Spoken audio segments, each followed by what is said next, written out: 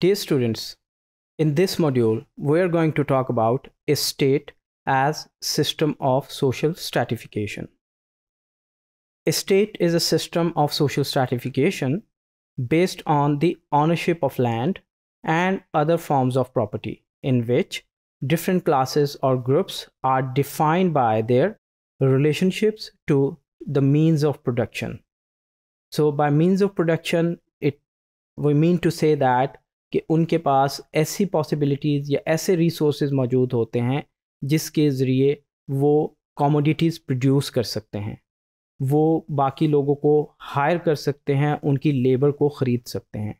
क्योंकि economic system के अंदर वो लोग एडवांटेजेस पोजीशन के ऊपर होते हैं, जिनके पास रिसोर्स होते हैं, जिनके पास इन्वेस्टमेंट की पॉसिबिलिटीज़ होती हैं एज़ कंपेयर टू दोज कि जिनके पास सिर्फ़ बेचने के लिए सिर्फ़ और सिर्फ़ उनकी लेबर होती है।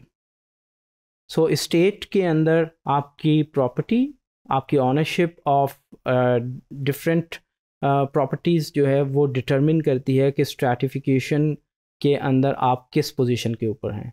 The more property you own the higher is your position in that stratification Estate is often associated with pre-modern feudal societies in which social position was based on birth और इनहेरिटेंस तो feudal lords जो हैं traditional society के अंदर higher social position के ऊपर मौजूद होते थे। उसकी बड़ी वजह यही होती थी कि चूँकि वो प्रॉपर्टी ऑनरशिप थी और प्रॉपर्टी ऑनरशिप की वजह से उनके पास बाकी लोग जो हैं, वो पेजेंट्स के तौर पे काम करते थे।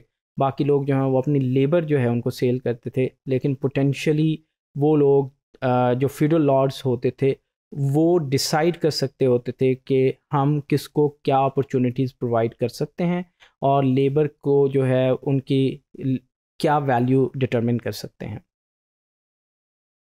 State is characterized by a rigid class structure in which those at the top of hierarchy have significant power and influence over the lives of those at the bottom तो ये दर्जाबंदी का एक ऐसा एक्यूट सिस्टम था कि जिसके अंदर जो फ्यूडल लॉर्ड्स होते थे, जिनकी अपनी पोजीशन जो है वो उनके बर्थ के ऊपर या उनके इनहेरिटेंस के ऊपर डिपेंडेंट होती थी। ये उनकी खुशकिस्मती होती थी कि वो एक ऐसे फ़र्द, ऐसे शख्स के घर पैदा हो हो जाते थे कि जो ऑलरेडी फ्यूडल लॉर्ड होता था या जिसके पास जो हैं मीन्स ऑफ़ प्रोडक्शन होते थे। इन कंपैरिजन टू दोज बहुत ज़्यादा लोग जो होते थे जो कि लेबर क्लास होती थी वर्किंग क्लास होती थी जो पेजेंट्स होते थे वो उनके लिए काम करते थे। तो इसी निज़ाम को जो है मॉडर्न कैपिटलिस्टिक सिस्टम जो है फिर कंटिन्यू करता है। और हम ये देखते हैं कि वो जो फ्यूडल क्लास थी वो उसके बाद एलिट क्लास में कन्वर्ट होती है और वो आ, उनके लिए एक बोर्जुआ क्लास बन जाती है और जो वर्किंग क्लास थी जो पेजेंट्स थे वो उनके लिए जो है, वो प्रोलिटेरिएट क्लास बन जाते हैं। So state is often associated with forms of economic exploitation such as feudal lords who extract the rents from the peasants and farmers.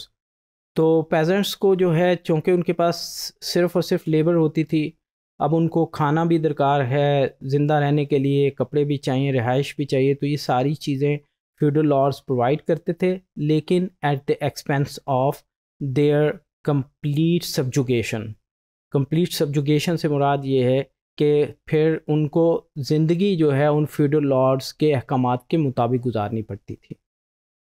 So in some cases state systems have been transformed into the modern forms of social stratification such as class based societies modern societies में जो ये class based system है जिसमें एक working class है और एक elite class है। वर्किंग क्लास चूँकि उनके पास मीन्स ऑफ़ प्रोडक्शन नहीं है, उनके पास लेसर अपॉर्चुनिटीज़ होती हैं। तो ये क्लास बेस्ड सिस्टम जो है, इसको समझा जाता है। ये उसी तरह का एक हिस्टोरिकल रिफ्लेक्शन है जो कि फ्यूडल सिस्टम से ही बरामद हुआ है। तो in Pakistan state systems have historically been important particularly in rural areas and in the context of larger land holdings and feudal relationships.